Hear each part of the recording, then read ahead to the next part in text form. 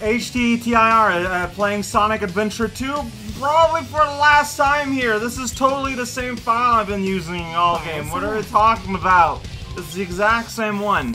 So, you, you know, playing Sonic Adventure 2, you had a lot of fun. You decide, man, I'm going to do all the mission. Man, not only am I going to do all the mission, I'm going to get all the A, I'm going to get all the side emblems, all the kart races, done it. All the Chao, done it. And this is a rare game where you're actually rewarded for it. Now, if you're an actual normal person, you probably didn't do all that and did like me and downloaded a file using GameShark. And you end up with this on this little island on the map.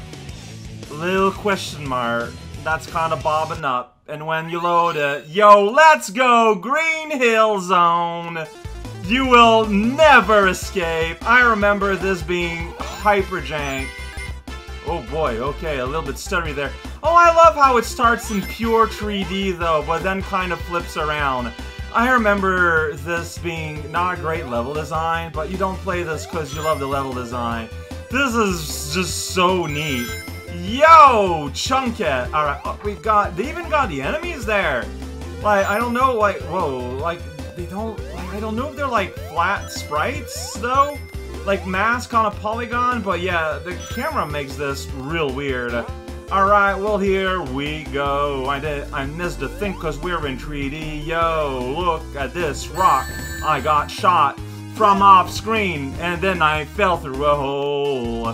Yeah, that's, that's what I remember.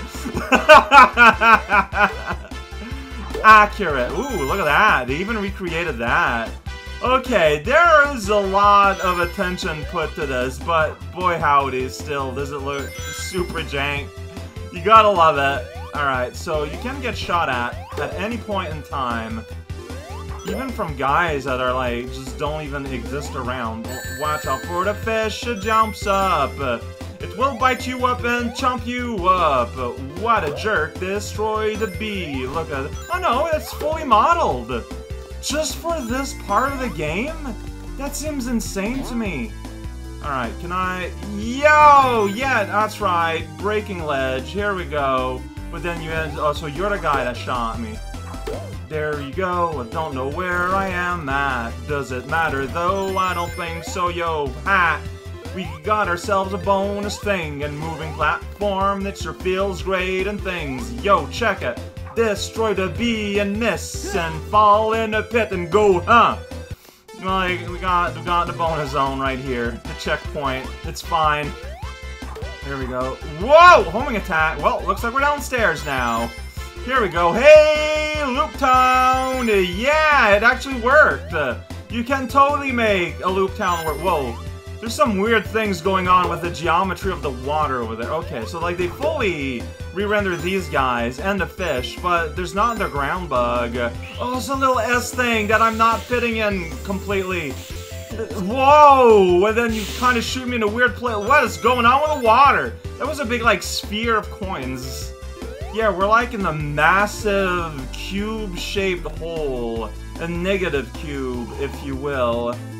Uh, and then I don't know what's going on. Alright, we're going here. Here we go. Watch out for the spikes.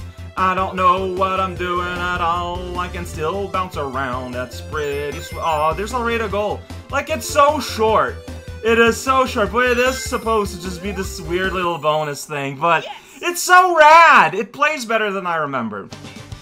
I remember it feeling real weird, but it honestly plays pretty good.